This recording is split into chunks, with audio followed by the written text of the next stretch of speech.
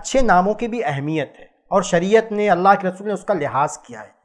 ایک حدیث میں اللہ کے رسول نے صحیح مسلم کی حدیث ہے۔ نبی نے فرمایا، ایک چند قبیلوں کا ذکر کرتے ہوئے کہ اسلمو، اسلم ایک قبیلے کا نام ہے۔ کہا، اسلمو سالمہ اللہ اللہ تعالیٰ اسے سلامت رکھے۔ نام سے آپ نے دعا ان کے لیے کی۔ جو نام ویسی دعا، اس قبیلے کا نام اسلم ہے تو اللہ تعالیٰ ان کو سلامت کے ساتھ، سلامتی کے ساتھ رکھے۔ وہ غفار یہ قبیل غفار ہے۔ آپ نے کہا، غفر اللہ لہا۔ اللہ اس قبیلے کی گناہوں کو معاف فرمائے۔ کہا گیا کہ یہ عصیتو، یہ قبیلہ اس کا نام ہے عصیہ، نافرمان۔ لفظی معنی کیا ہوا؟ نافرمان۔ آپ نے فرمایا، عصت اللہ۔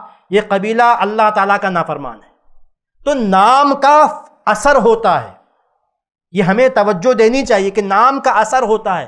کبھی بھی آپ غلط نام نہ رکھیں، جو غلط معنی اس کا ہو انشاءاللہ باتیں آئیں گی آئیں گی کہ کون کون کون سا نام یا کس طرح کے نام ہمیں نہیں رکھنے ہیں۔ لیکن ایسا نام نہ رکھیں جس کا معنی غلط ہو، اچھے نام رکھیں۔ جیسے کہا اسلم، اس کے اعتبار سے دعا کی۔ کہا غفار، تو اس کے اعتبار سے دعا کی۔ اسی طرح ایک بہت مشہور حدیث ہے، صحیح بخاری، صحیح مسلم میں اور اور بھی جگہوں پر ہے کہ جب صلح حدیبیہ کا مسئلہ تھا، بہت سارے لوگ آئے قریش کی طرف سے بات چیت کرنے کے لیے جب قریش کی طرف سے ایک جو ہے سفیر آیا، سہیل بن عمر تو آپ نے کیا فرمایا؟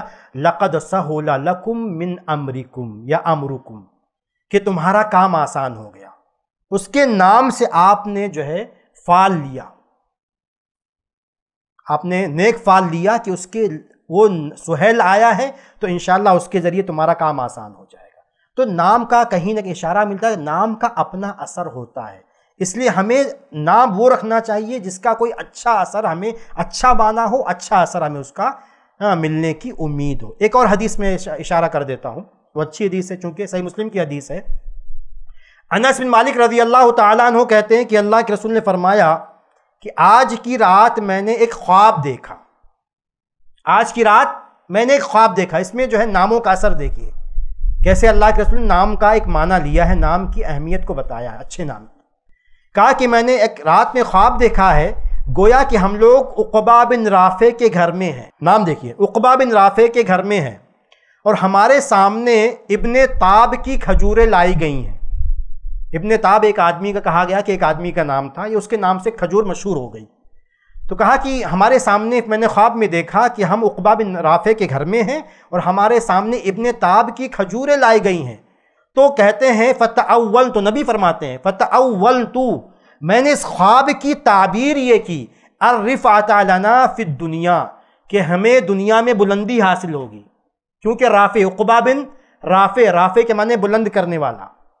تو نبی نے کیا کہا کہ میں نے اس نام سے، جو نام مجھے خواب میں دکھایا گیا، میں نے اس سے جو ہے تعبیر یہ لی کہ عرفت لنا فی لنا فی دنیا کہ ہمیں دنیا میں بلندی حاصل ہوگی، والعاقبت فی الاخرہ، اور آخرت میں ہمارا انجام اچھا ہوگا۔ آگے فرمایا، وَأَنَّ دِينَنَا قَدْ طَابَ اور ابن طاب سے آپ نے معنی یہ لیا، تعبیر یہ لی کہ ہمارا دین جو ہے مضبوط ہو جائے گا، بہتر ہو جائے گا اچھا ہو جائے گا۔